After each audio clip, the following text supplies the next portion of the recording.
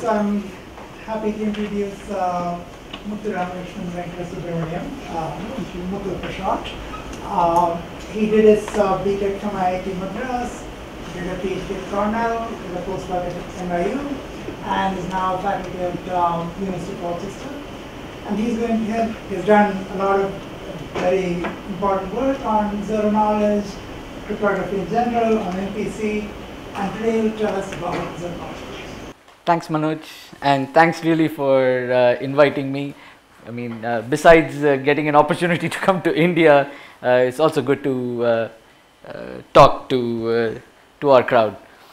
Um, I'm going to talk about zero knowledge proofs, and as Manoj said, feel free to to stop me. I'm going to try to keep this at as high level without too many technical details uh, as possible. So do stop me and ask questions uh, if you have any.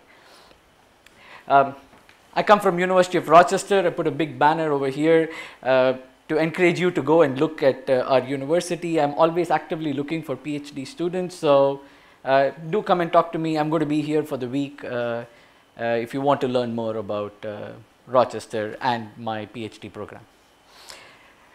All right, so zero knowledge proofs. Let's start with uh, an example, what I call a motivating example.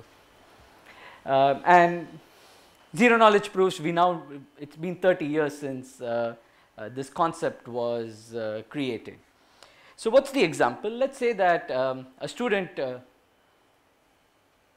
is you know browsing you know he starts his phd he or she starts the phd and you know wants to solve something big the clay mathematical institute has uh, the list of one of these big open problems that you know have very big rewards if you solve them.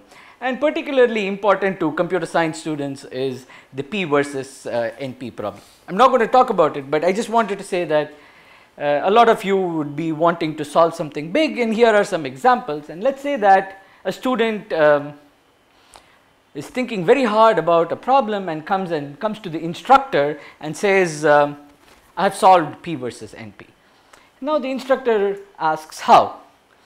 And the student is uh, you know uh, they've written the proof and uh, presents it to the instructor. Now if this instructor was honest the instructor would honor would uh, verify the proof and guide the student towards uh, uh, his or her glory to get to receiving the the prize.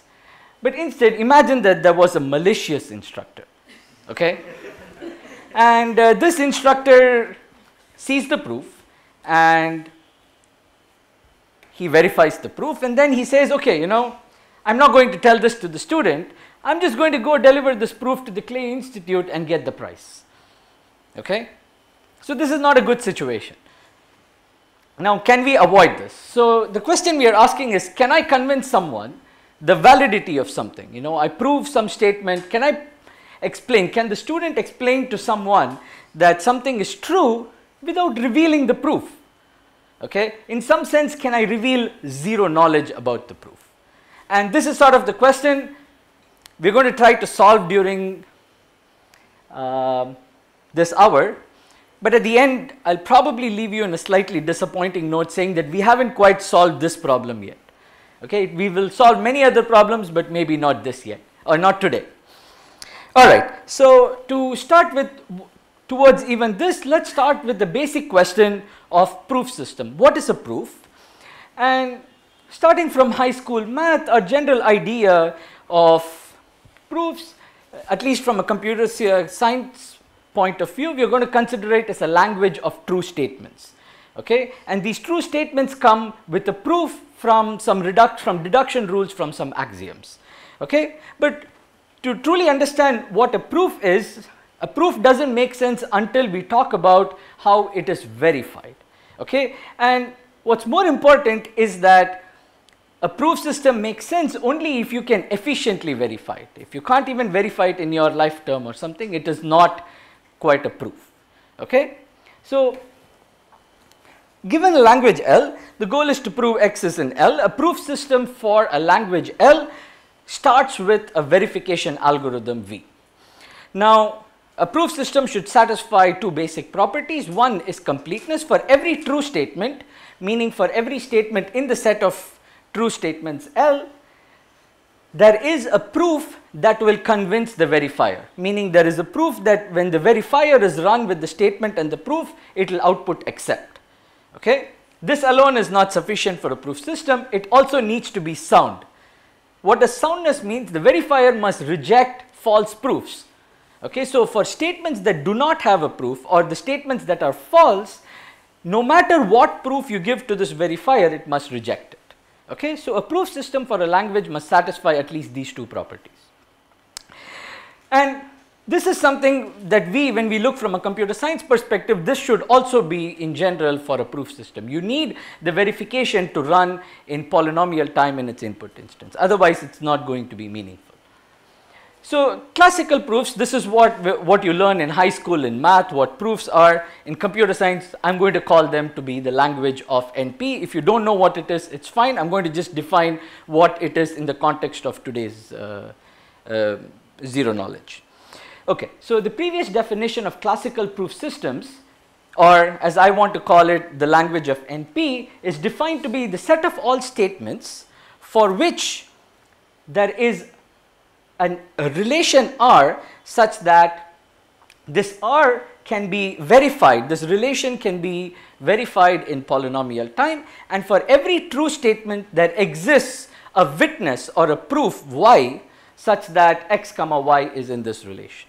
Okay? And the class NP is the set of all languages that sort of satisfy this. Okay? And in my view or at least in general the view is that this is what we refer to as a classical proof system. Okay. Now, interactive proofs that were introduced by Goldwasser, Micali and Rackoff is a generalization of this classical notion of proofs. Instead of thinking of proofs as a static ob object, which is that you have a set of axioms and deduction rules for a statement, you want to think of a proof as an interaction between a prover, an entity called the prover and a verifier. Okay? So the prover and the verifier start with some statement x and the goal here is that they should talk with each other and at the end of the computation the verifier either accepts or rejects. Okay? So this deviates slightly from the standard notion of the proof being a static object. Okay. So what are the two new ingredients from a classical proof? Well, in an interaction, uh, First, we are also going to allow that the entities can use randomness. Okay, they can toss coins and use uh, randomness. In particular, the verifier can toss coins, and we're going to make a slight relaxation in the sense that it's not quite a relaxation, but we're going to relax that the verifier only needs to uh, accept with certain probability, which means it could output the wrong answer, maybe accept or reject with um, some error with some probability. Okay? And the second thing is interaction. As I said, classical proofs are static, but uh, in an interactive proof there is uh, uh, interaction. In some sense, you should think of it as a challenge response. The verifier is trying to uh, ask the prover to uh, answer certain challenges regarding the proof. So that's why it's an interaction. I want to point out that this is a generalization in that classical proof systems do lie in this framework and if, if I want to make it an instance of this framework, I'm just going to say that there is no interaction and the verifier doesn't toss coins. Okay, then it becomes a deterministic thing just like classical proof systems and when I say no interaction, it becomes a static object. Okay, so classical proofs do lie in this uh, framework. Okay, so um, an interactive proof system for L is an is an interactive protocol between two entities that I call the prover and the verifier that satisfies three, con three uh, conditions. First, as in regular proof system, you want completeness, which means that there is an algorithm for the prover such that for every true statement, meaning x in L, the interaction between the prover algorithm and the verifier algorithm will result in the verifier accepting the proof okay, and accepting the proof with probability 1. The soundness condition on the other hand is going to say that when you start with a false statement x not in L, no matter what the prover tries to do, you are going to say that the verifier should accept only with some probability. Okay? So when I say no matter what, I am going to think of the prover as a malicious or as an adversary. This no matter what strategy the prover is trying to do, it will not be able to convince the verifier of a false statement beyond a probability of a half. Okay? And as before, we are going to require that the verifier's algorithm is um, efficient. And efficient, I'm going to come to this in a little bit. Uh, it means something that is that runs in polynomial time in its input instance and can toss random coins.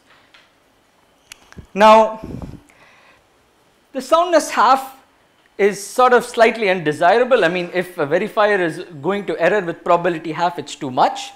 But with interactive proofs, if you start with something that has some constant deviated from one soundness, you can reduce it to an arbitrarily small uh, probability by repeating the proof many times. You ask the prover several proofs and you can reduce this to uh, arbitrarily small probability.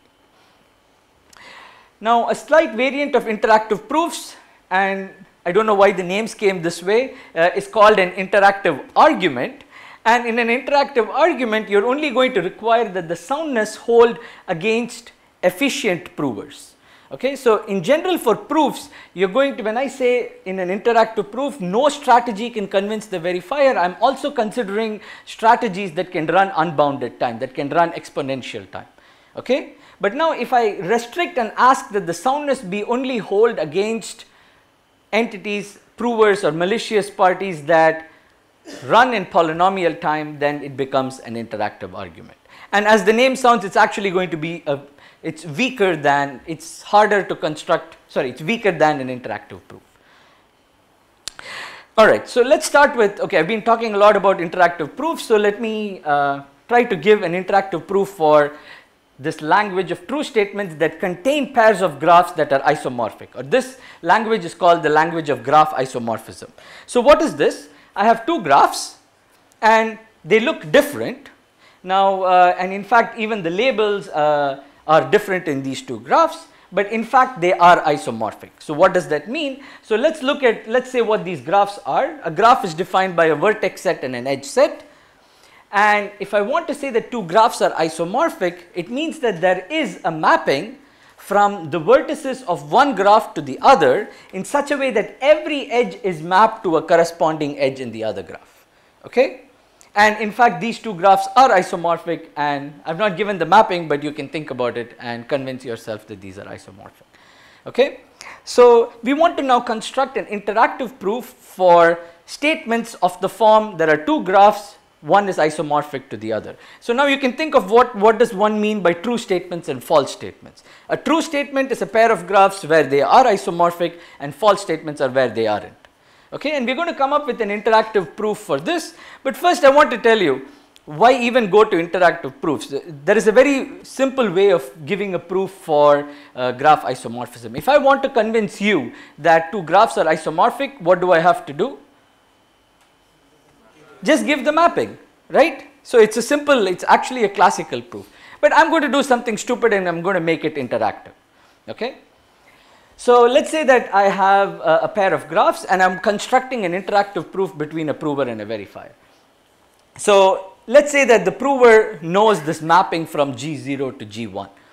Now what is the prover going to do? The prover is going to pick one of these two graphs. Let's say it picks G0 and then it's going to construct another graph H which is isomorphic to G0 okay. Now this process is easy to do if you think about it I am saying given two graphs there is a mapping but if I want to construct an isomorphic graph to this I just have to pick a random mapping or a random bijection to construct an isomorphic graph. So it just picks one of the two picks a random bijection and gets a new graph H and sends that as the first message of the protocol. This is followed by the verifier is going to send one challenge bit which is either 0 or 1 let us say that it is this bit B.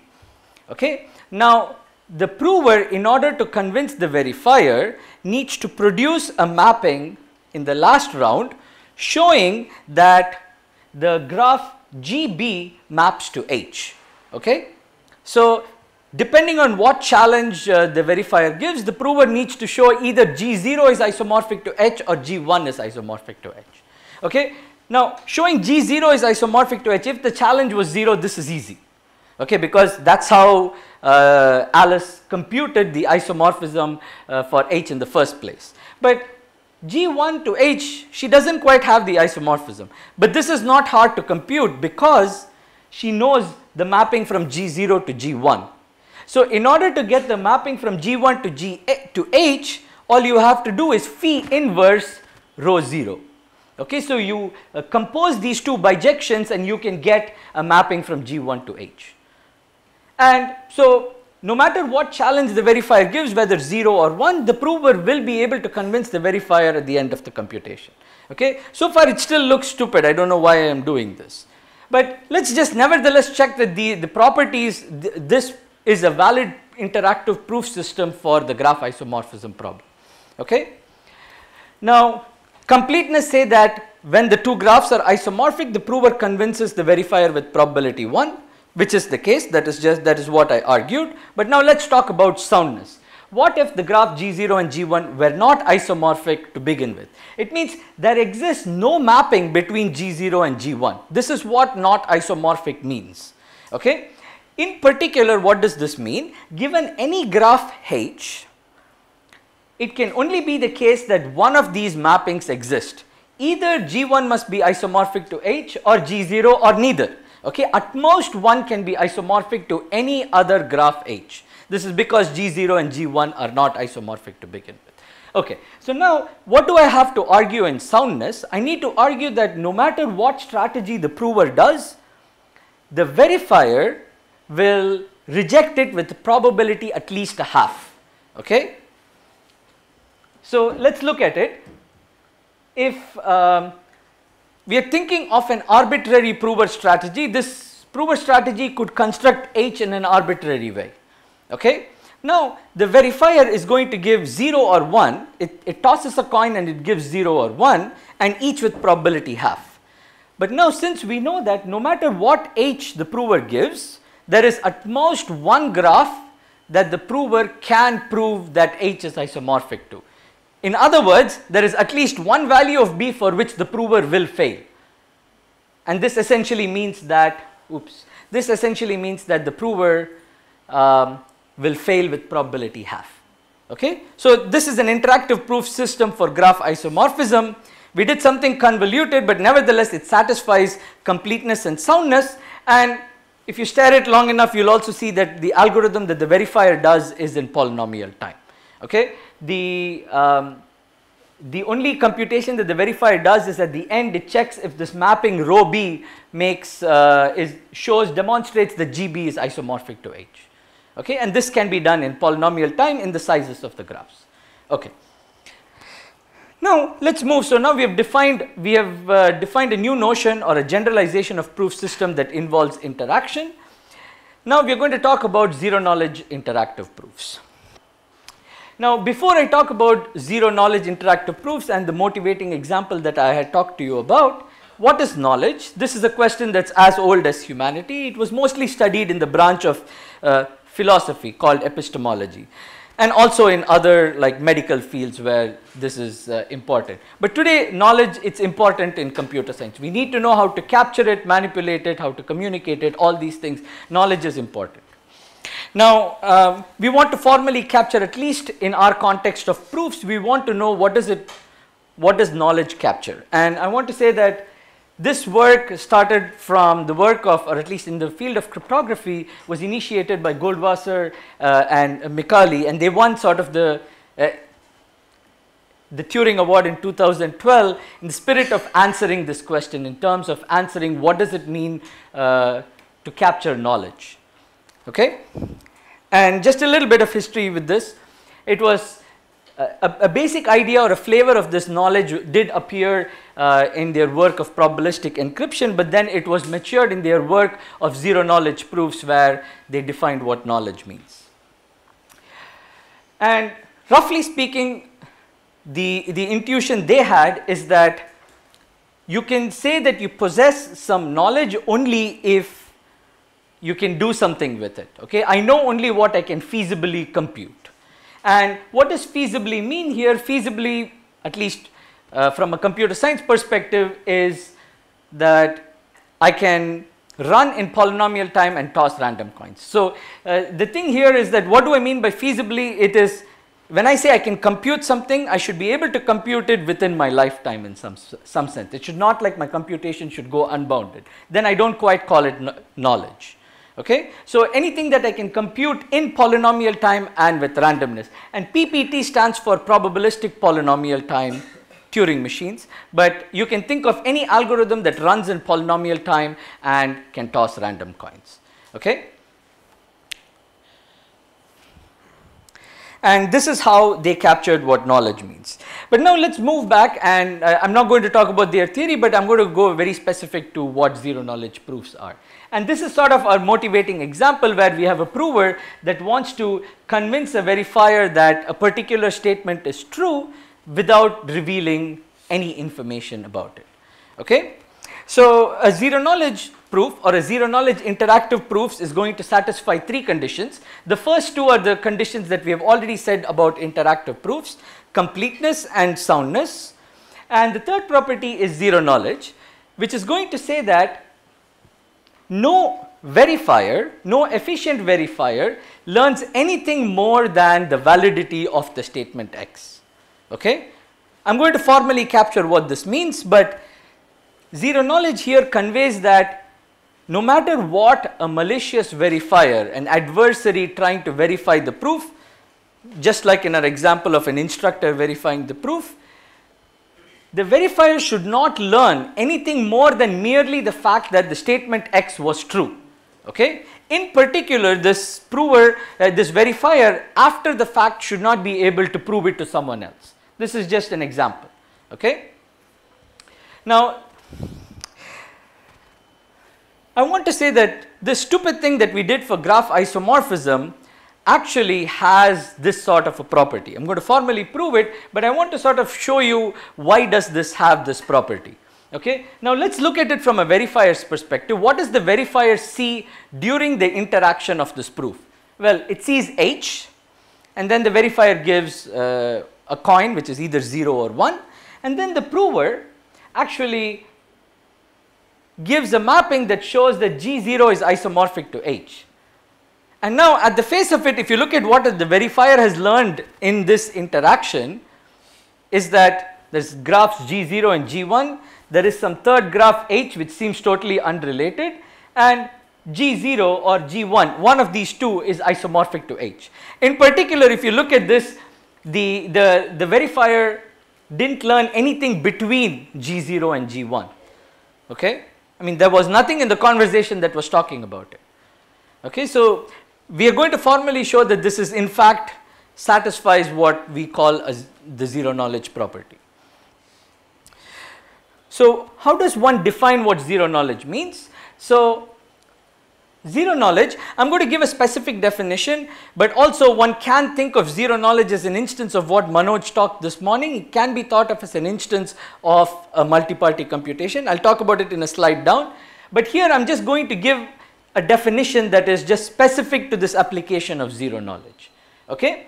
So, in zero knowledge you are protecting, you are trying to protect something against a malicious verifier okay and the zero knowledge property requires that for every malicious verifier that is trying to interact with the prover and trying to learn some information about the statement or the witness or the proof there exists another algorithm that we are going to call a simulator that can essentially learn the same information on its own okay so pictorially what i'm trying to say here is that in a computation as I mentioned with the graph isomorphism, what does the verifier see in the computation? Well, the verifier sees the messages that were exchanged and the verifier also tossed coins. Okay, as part of this computation, it tossed few coins. So, if you think of what the verifier sees or the view of the verifier, it just is the random coins it tossed and the messages it received during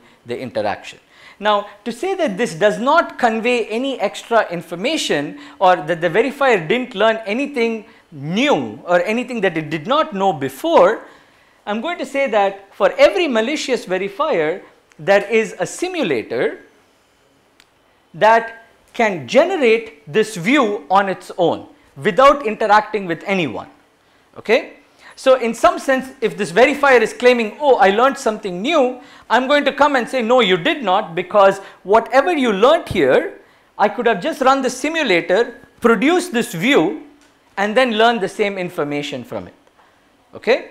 Yes. So why should the simulator be a so, good. So, uh, I am going to sort of uh, say what my advisor said of his advisor. Okay, so Silvio Micali is my advisor's advisor and he is one of the founders of Zero Knowledge and he says this, you go to a street and go to a person and ask in terms of computation what is free, okay, is you are free to do polynomial time computation and you are free to toss coins, okay. This is something that I can do with my laptop, you can do with your cell phones these days, okay. You can run any algorithm that tosses coins. So, whatever you can learn in polynomial time and with randomness is for free. This is not something I can protect. So in the graph isomorphism example, if there is something about these graphs that you can learn in polynomial time, that's for free. Okay? But now here what I want to say here is that whatever the verifier could have learned during the interaction, I am claiming that if I establish this property, this verifier could have learned on its own running that algorithm.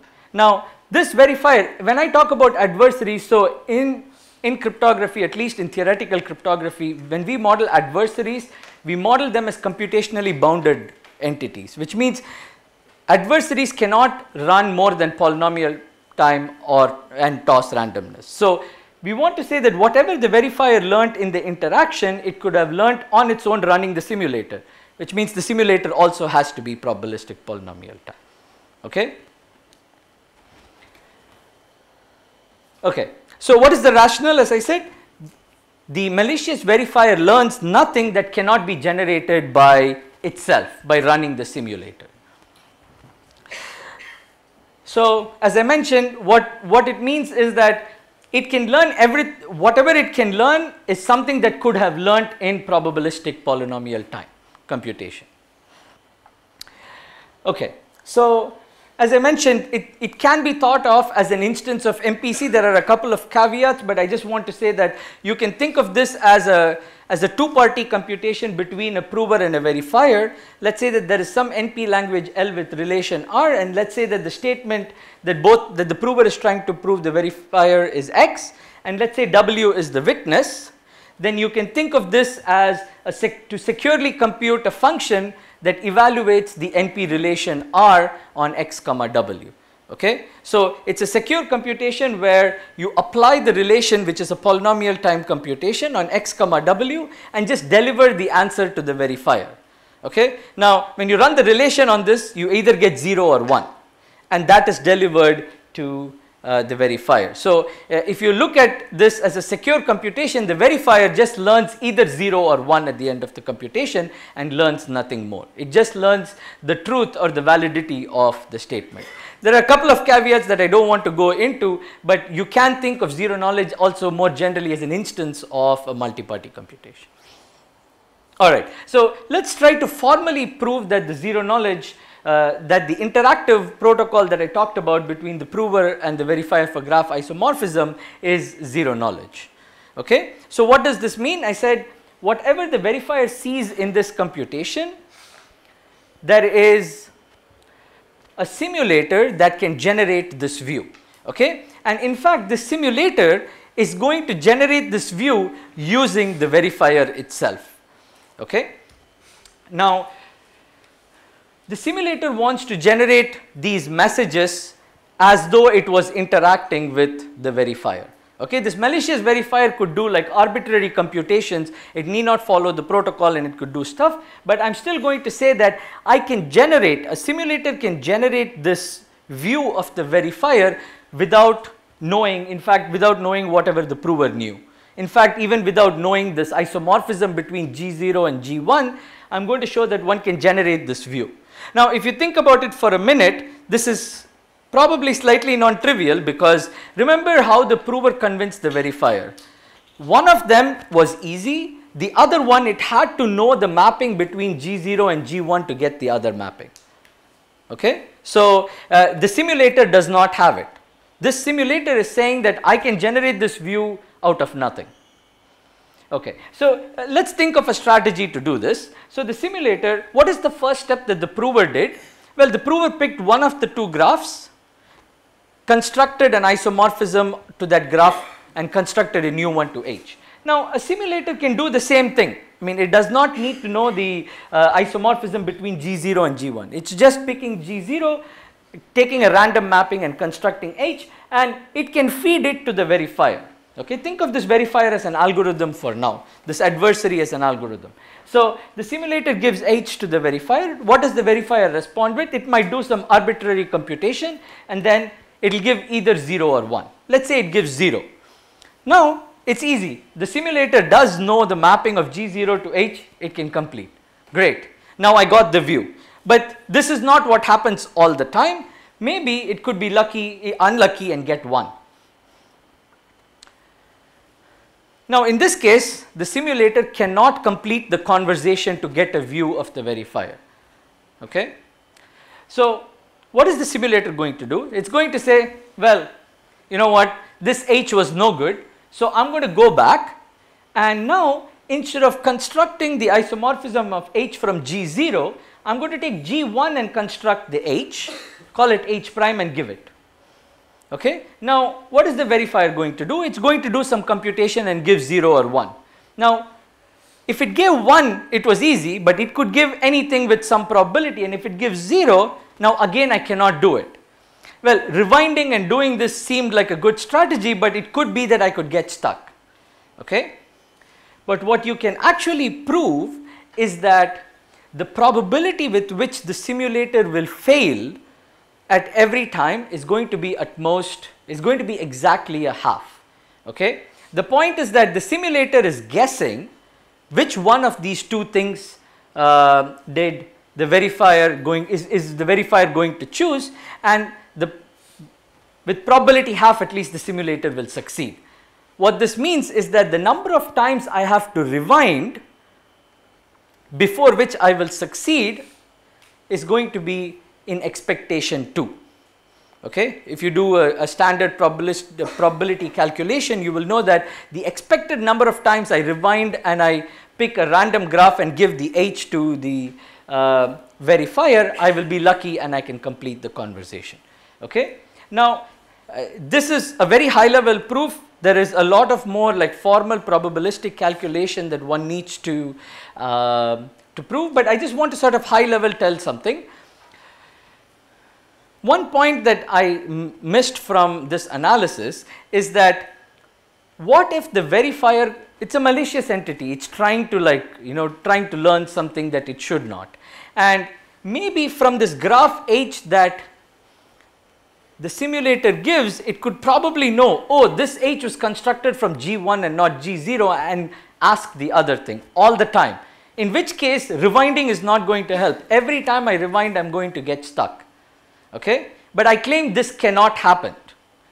And the point here is that this first message, H, actually, if you construct H as a uniform like a random isomorphism of G0 or a random isomorphism of G1, the distribution of H is going to be identical. Why is it going to be identical? Because G0 and G1 are isomorphic to begin with, which means if I permute this graph to get something or this, the distribution of the graphs H is going to be identical in either of these cases, which in our case means that the H that the simulator gives to the verifier will not reveal from where it was constructed. So, we can truly say that the simulator's H will succeed with probability at least a half. Okay? Now,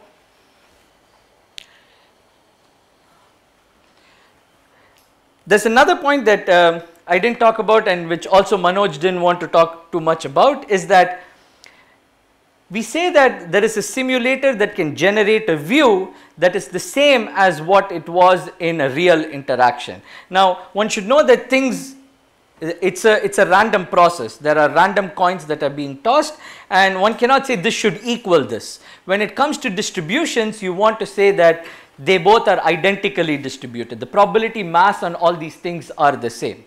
Okay? Now for this case actually you can show the that they will be identical. But in general you can only do what is referred to as something called computational indistinguishability. You can say that these two distributions, the distributions output by a simulator and the distribution observed in a real interaction cannot be told apart by any efficient adversary. Now if you, yes? Right case, uh, we run the only once. Yes. The view, but in the left case, the simulator can even rewind back. Yes. The view of the verifier would be different. Ah, so are you asking in terms of probability distribution that it will be different or you're just saying that the simulator gets to rewind but the prover does not? So uh, the point is that this is precisely the advantage the simulator has and I'll tell you what this uh, in some sense means. So in an interaction I'm saying it's online. The verifier talks to the prover, they exchange messages and the computation ends.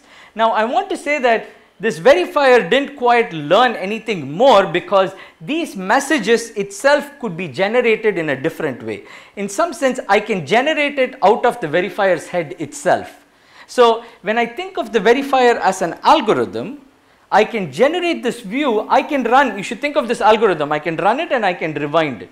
And the claim I'm making is that whatever the verifier saw is something that was already in its head or whatever it's claiming that it knows is already in its head and that's why I can rewind. But a more subtle point is as I said I should show that these distributions are the same which requires some more effort.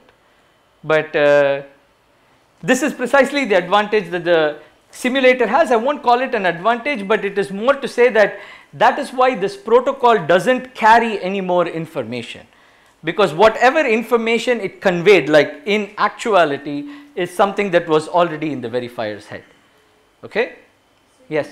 So your motto was not for the verifier to be able to tell, distinguish between the prover and the simulator, but just say that whatever is the distribution that the simulator would give is the same as that of a prover? You can yes what you said is uh, is the is the intuition. And i just want to add something to what you said which is that when you say that someone learns something uh, it means that it can come out of what is seen in an interaction. And in here it's just the messages and the random coins tossed by the verifier. And if i can generate them identically then whatever I'm trying to learn from the pieces of information seen in a real interaction, I could do the same by running first the simulator and generating the transcript and randomness and then running whatever learning algorithm I want on this thing. So uh, the point here is that as long as I can generate the information that was in the protocol in a different way then you can't learn anything more okay and maybe at eh, some point down you're also going to see a definition of secure computation in the flavor that Manoj said which will also do the same which is that the messages actually don't carry any information. Okay? And even in this case the actual the, by demonstrating a simulator you're showing that the messages don't carry any additional information beyond the fact that remember the only fact I used to construct the view and also to prove this identical is the fact that G0 and G1 are, are isomorphic. If they weren't, this argument is not going to work and that doesn't make sense also, but only when G0 and G1 are isomorphic when is this true. Okay, and we want to say that when for true statements, the verifier cannot learn anything more. It will only know whether the graphs were isomorphic or not. Okay. Um, Maybe I should also tell one point here which is that I say always that polynomial time and randomness is for free. Now what if graph isomorphism was solvable in polynomial time then actually you do not need to give a zero knowledge proof you know you just do not give any proof because the verifier can just compute on its own and it's zero knowledge. So the point is zero knowledge in some sense makes sense only for things that cannot be computed feasibly and graph isomorphism at least till today is a candidate for that uh, uh, problem. All right. So, what can you prove uh, in zero knowledge?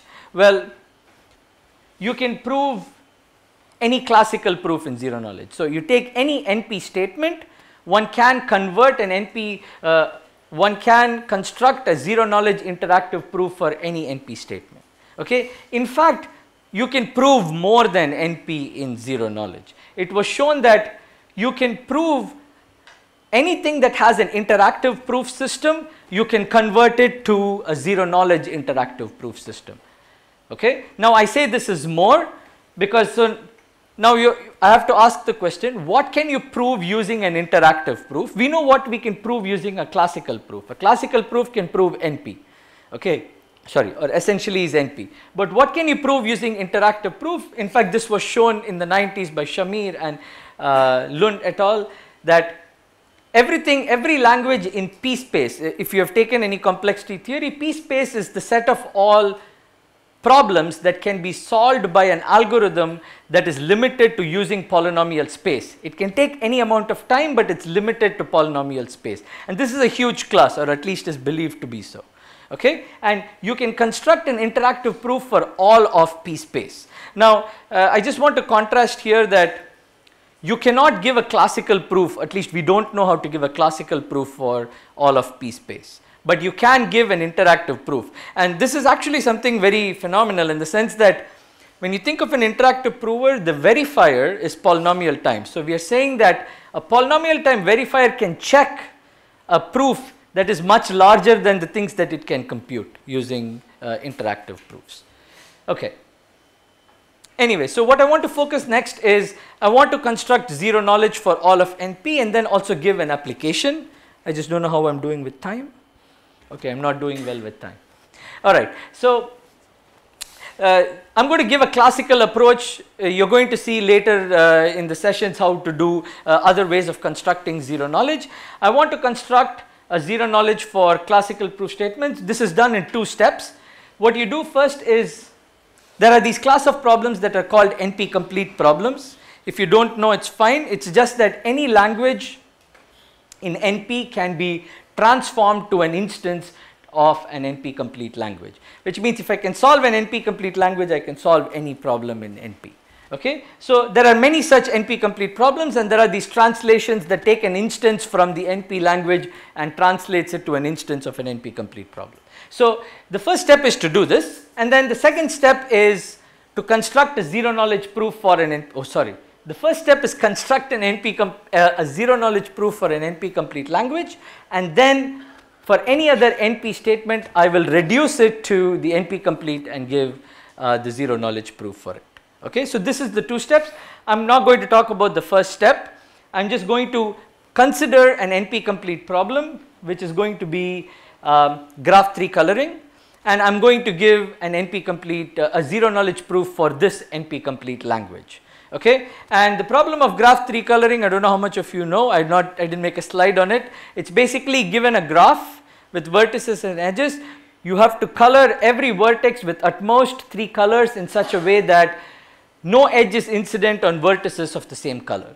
Okay? You have to color the vertices. If you can color them then it is a true instance of a 3 coloring graph. And if you cannot then it is a false statement. Okay what we will need for uh, constructing this zero knowledge proof, we will need some cryptography and in particular we will need this primitive that is called commitments.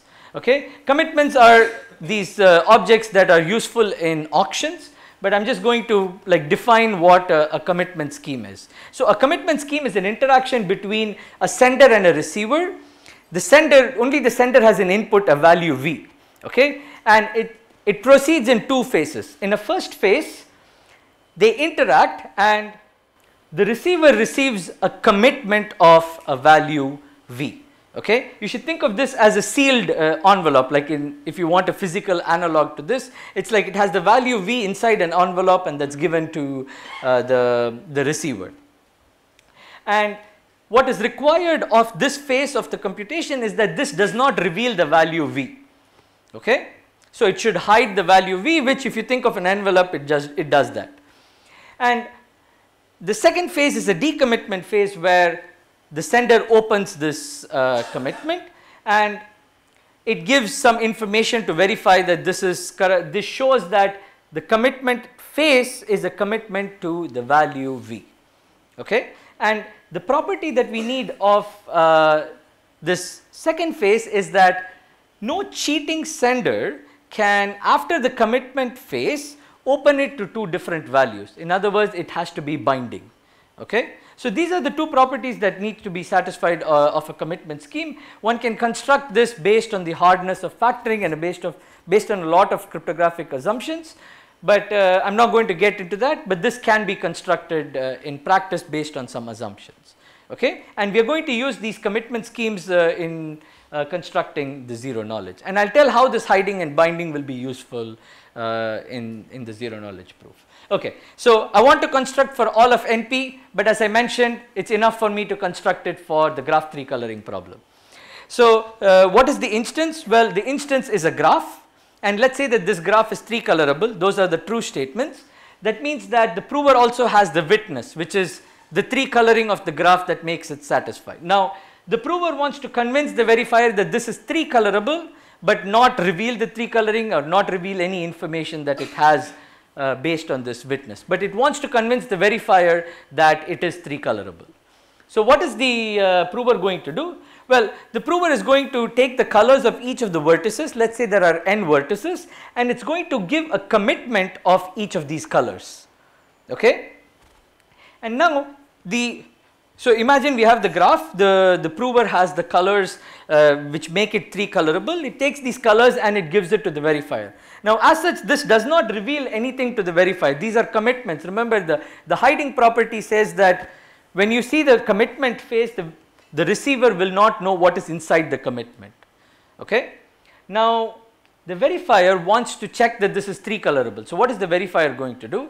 Well the verifier is going to pick an edge in the graph and it is going to give it to the prover. It is going to say please reveal the colors connecting these edges. So give let us say the edge connects vertex i and j it says please show me the colors of this. Now remember my commitment phase also has an opening phase where I can open the value in the commitment and the prover just opens these two values. And now the verifier says well I will accept if these two colors are different. Now remember if it is 3 colorable it has to be different or at least if it was a valid 3 coloring this has to be true and the verifier will accept it only if uh, these two colors are different. Now let us verify that this is, uh, let us verify the, the three properties of completeness, soundness and zero knowledge of this thing. Okay, completeness since there is a three coloring of the graph, if the prover just goes honestly, the verifier will accept the proof all the time because every edge is incident on two different colors. Soundness on the other hand is going to use the fact that my commitment scheme is binding, the second property, which means that if the graph was not three colorable, it means that no matter what colors you give, some edge is going to fail on this three coloring test. So, since the colors were committed in the first round, now with some probability, uh, with some probability the verifier is going to pick that edge for which the colorings were equal. And now since the prover opens this, it has to open the right values that it committed to. It cannot cheat, it cannot open a different value and these values were same which means the verifier will reject the proof. Okay. Now you can ask what is the probability with which the verifier will catch a prover? Well it will catch it with there is at least one edge that is wrong. So at least with probability 1 over the number of edges. It is a bad like I mean you want it much smaller than this but this is uh, uh, this is the probability with which it will catch. Now as I mentioned you can repeat it many times to bring the soundness error which I will talk about in a minute but this is fine. But then what about the zero knowledge? I have to construct a simulator I am not going to go over the, uh, the details I am just going to tell that you can use the same rewinding strategy where if the prover can guess the edge E that the verifier is going to ask I can put two different colors for that edge because those are the only two things I open. It does not matter what color I give in the remaining things. So, I can keep rewinding until my guess is right and I can do it. The proof is much more complicated, but it essentially works. Was there a question? Yeah, you have to use some one way function for that. Alright, so um, I am going to skip this uh, in the interest of time. Uh, I wanted to say how to bring the soundness error from half to anything small. Uh, I want to go to the uh, application of zero knowledge. you can come and ask me later what it is. Okay. So, what we have done now is we have shown a way of constructing a zero knowledge for any NP statement. For any NP language, we can construct a zero knowledge proof. Okay. And the proof that we saw now is for three coloring. There have been other instances of this like there is the problem of the Hamiltonian circuit problem for which a zero knowledge, it is another NP complete problem for which we know how to construct a zero knowledge proof. For the problem of Boolean satisfiability, this also has been shown. Now, uh, all of these construct, you know, do, does this two step process. You first construct it for an NP complete, then for any NP statement, you do this Karp reduction to this to construct a zero knowledge proof. But, um, okay, and this is the theorem statement corresponding to it. Assuming one way functions, there exists a zero knowledge proof for all of uh, IP, all, all everything that can be proved using interactive proofs. But what I want to point out here is that uh, these instances use the two step process, but you are actually going to see um, a, met a mechanism where one can just start with the NP relation and construct an N, uh, a zero knowledge proof directly and you are going to see this. This uses this beautiful idea of MPC in the head that Yuval will be talking about on Wednesday um, and I just wanted to sort of uh, you know uh, give a link to his uh, talk from here. And uh, in practice this is very uh, important because doing this Karp reduction, if you want to use this in reality for certain applications doing this Karp reduction is very inefficient. Okay. So, you would want a mechanism that directly uses the NP relation and constructs a zero knowledge and uh, this work is the first uh, in uh, to do this in a very nice way. More on Wednesday. Alright, zero knowledge has numerous uh, applications. I do not have time to talk about it. What I want to talk in the last uh, 5 minutes uh, is this application that zero knowledge, I want to tie it down back to multi-party computation uh, as this workshop is about multi-party computation. Zero knowledge is used to amplify or boost the security of protocols. Uh, Manoj talked about passive security and active security. Active security is what we want. We want to protect against uh, adversaries that arbitrarily deviate from the protocol and zero knowledge is useful for this. How do you do it? You start with a passive secure protocol which means security is only against honest but curious entities, entities that follow the protocol to the word and then you are going to convert it, compile it into a protocol that also is secure against bad adversaries that deviate from the protocol. And the two things that we are going to use are coin tossing and zero knowledge proofs. Okay, and hopefully I can give this compilation at least in the next 7 minutes. Alright, so what is the general high level idea? I have a passive secure protocol. Passive security says that if the parties follow the protocol to the word, then my protocol is secure. It gives all the privacy, nice privacy and correctness features that I want, it gives me. Okay. Now, if I want to also protect against people who deviate from the protocol, I need some mechanism in the protocol to enforce that at least in these protocol messages the the, uh, the adversary does not deviate. There must be some enforcing mechanism. Okay? And this is, is going to require three things. I need to force that the adversary uses a fixed input, meaning every statement is according to some input x that this party uses. Okay? The second thing is a lot of these protocol requires randomness and furthermore privacy in many of these situations require that the adversary pick a uniform random string as its random tape as the random coins it uses. In particular, it should not manipulate the sequences of random coins for the protocol. So, we need to force that the adversary uses a random, a, a, uniform random tape and I call tape because it's remnant of Turing machines. If you don't follow, that's fine. Just think of uh, a string of randomness needs to be uniformly generated. And finally, you need to force that the adversary follow the protocol instructions exactly. If I can do these three things, then I get security against even arbitrarily or active adversaries. Alright, so the first one using fixed inputs is going to be easy. We are just going to make the adversary commit to the input. We already know what commitments are. We are going to make the adversary, both parties, uh, you should think of uh, in a two party or multi party computation, every party can commit to their input at the beginning of the protocol. To generate a random tape, we are going to use what is called a coin tossing protocol. Okay, and this I am going to talk about in the next slide. And finally, to force that the adversary follows these instructions, we are going to use zero knowledge. What is coin tossing? Coin tossing, the goal is that we want to fix the random tape of each party, okay? And we are going to use commitment schemes to do this. And the protocol is very simple. Alice picks a random R1, commits to it, Bob picks R2, and then Alice reveals or opens R1. And then they are going to say that the uniform random string that they generated is R1 XOR R2, okay? And there are some security properties that you can show, but take it from me that this will be uniformly generated as long as one of these two parties are honest. Okay. Now this is not quite going to be enough for generating a random tape primarily because we don't want both parties to know the random tape. We want see Alice and Bob they both need random tapes for the secure computation but uh, neither should know the random tape of the other party.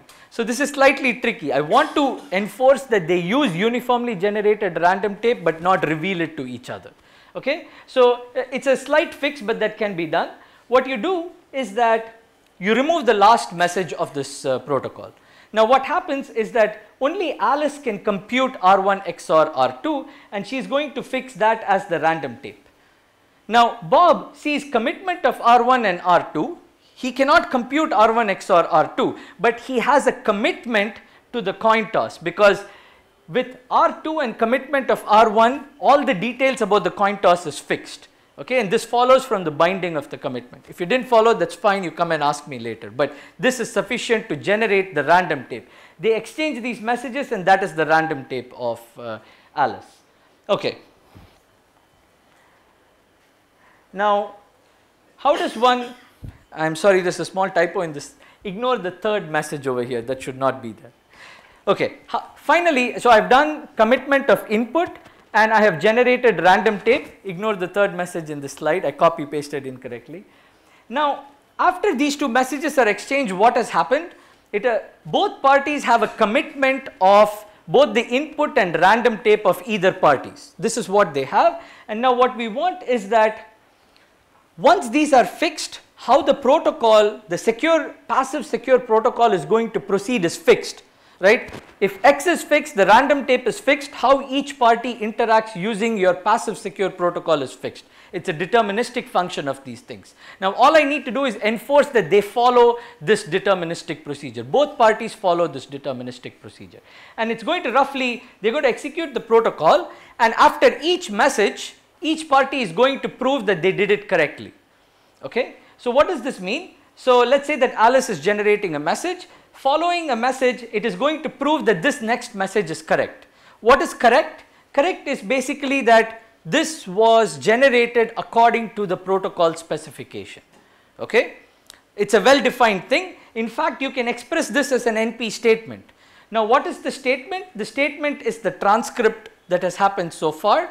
The witness is the input, the randomness and the randomness for used for entire protocol including the commitment and the relation basically says that the instructions were followed according to the passive secure protocol. Okay? And that the commitments in the first round are right. Now even if you did not follow it all I am saying is that saying that this next message is correct is an NP statement in some witness that Alice knows. And similarly for Bob when he is proving it. Okay. But Giving this proof as we know just like that is, is bad because it gives the input to the other party which you do which you want to protect.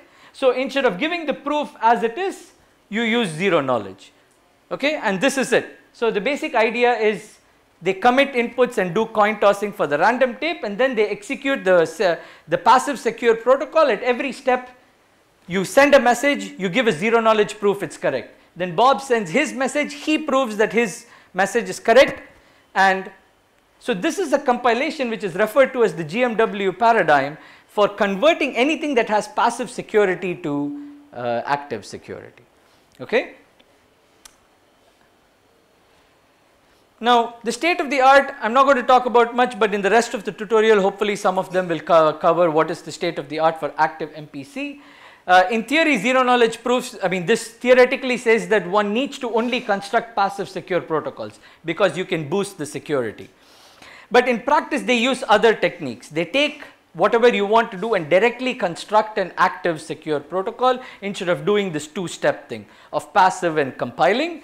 But uh, implicit in these approaches, there are a couple of popular approaches. You'll definitely see MPC in the head. I'm not quite sure if cut and choose is going to be uh, uh, done. Maybe it will. Uh, but these techniques inherently do use some idea of zero knowledge. Okay, uh, but the point is, if you want to do something efficiently, you just construct it directly because you know where the bottlenecks are going to be. All right. Uh, finally, this is my last slide. I just want to say that uh, we haven't quite solved the original problem of the student coming and telling me a proof because all through what I have talked about here, zero knowledge is a single instance of zero knowledge, a single prover convincing a single verifier uh, about a statement and I told how to make it zero knowledge. But uh, in reality, it could be like this. There is an adversary that is receiving many proofs from a prover and is giving many proofs to a verifier. Okay? Now, if you think about it in my example, if the student comes and gives me a proof, uh, I could simultaneously be giving the proof to the Clay Institute. Okay? Now, Zero knowledge protects me from not giving the proof after the interaction has finished, but there is nothing stopping me to do it simultaneously. He gives, even if the student comes and gives a zero knowledge proof to me, I could just act as a man in the middle between me and between the student and the Clay Institute and the standard definition of zero knowledge doesn't protect this kind of an attack. Okay? And this is an issue regarding concurrency and I'll talk about this uh, in my talk next uh, uh, tomorrow, but I just wanted to sort of give you a preview that in a standalone setting where there's a single interaction, everything is fine, but in reality, it's not like that. And we need to do something more to uh, make it stronger against this class of adversaries. And zero knowledge proofs, it's one of the cornerstones of modern definition of security and as, as Manoj uh, mentioned, it's actually the birth of how we even think about how to define security. Okay, and this is how it started on uh, formalizing cryptographic things. People knew how to construct very cool protocols, but to formalize the definition of security using this real and ideal paradigm or using the simulator was because of zero knowledge uh, proofs and uh, it in essence is uh, a very uh, important building block. Even more recently, it's used for uh, things like bitcoins. Thank you.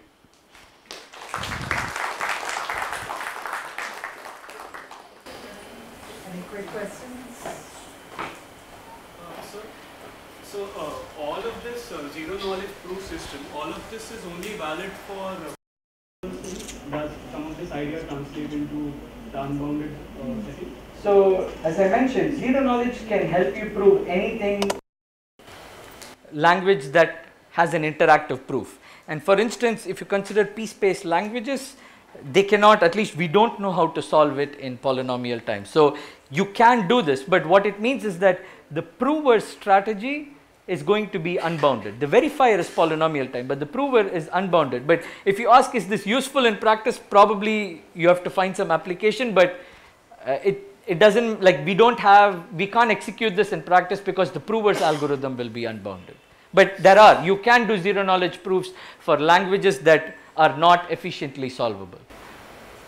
So uh, my question is, if the verifier was also let's say unbounded and the prover was also let's say unbounded, in that case can we consider something analogous to zero knowledge? Like in that case, can we have a proof system? So probably, but, but I mean, if you have to like if you increase the the verifier's complexity, you have to of course like you have to change your definition of what efficient means. As I said, what is for free already? If the verifier itself can run long time, whatever it can run in that computation is for free. So it can you can probably prove things that are outside this class. I could make Yes. So just a uh, related question there is, instead of proving, if you're talking about proving property of a language, kind of the uh, property of a input, yes, the proof, verifier is unbounded, you let them find it out by themselves, right? But there are other instances where it could be useful. For instance, uh, we had some instances where there is a noisy channel between a prover and a verifier. Everybody could be computationally unbounded, but I'm proving to you something about how I use this noisy channel. So it's a statistical statement I'm trying to make, and I want to convince you, you know, about some where where it could be, where it is So, but the usual setting here, for verifier is computationally unbounded, why don't they just do it by themselves, why do they? Any other? the computations which are in, in very inefficient, uh, like problems, uh, like protocols which are very, take lot of time, they can be proved using zero knowledge. As long as you your computation is polynomial time, you can prove it. Like I mean, even if the polynomial is huge, you can uh, you can prove it in zero knowledge. Are you asking when you're outsourcing computation, somebody will do the computation and prove to you that they did it correctly? Uh, Like sir, uh, many lattice cryptography, lattice. Very- cryptography? It, it is very inefficient and uh, their proofs are not like uh, in research paper.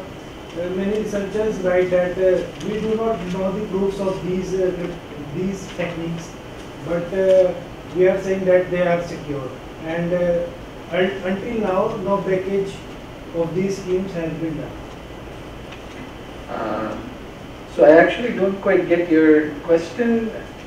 Sir, like uh, in uh, many lattice-based cryptography techniques. Yeah. So I think it kind of proves here to me of it's not quite the proofs here. Here it's like a very, you we know what it means to prove. It's a very simple verifier that you need to run. The kind of mathematical proofs you're talking about, we don't have mathematical- fully specified verifier and it's a human process to verify these proofs. Mathematical proofs. Yeah, that's kind of. Let's take it offline. I, I, yes. Uh, in the problem of 3D graph coloring, Yeah. Why don't the verifier just ask for every edge of the graph and he can check. So it won't be zero knowledge, and the reason it won't be zero knowledge is the prover is giving all the colors, right? I mean, uh, then the verifier now knows all the colors, and let's say that I give do the graph three coloring. So after this, you can prove to someone else it has Yeah. three color. Uh, I I just want to say that we open only one edge because if you look in the interaction, all that the verifier learned at the end of the computation is two colors. Now this doesn't reveal anything. Yeah. Uh, but as you said, to increase the probability, Yes. uh, we can iterate. So why don't we iterate? Uh, I did not talk about it, but you have to give new three colorings every time. What does that mean? You permute, like if it's 1, 2, 3, you make 1 as 2, 2 as 3, and 3 as 1, which means it's sort of a new uh, instance every time. So it is not on the same instance. And that's important. So let's uh, thank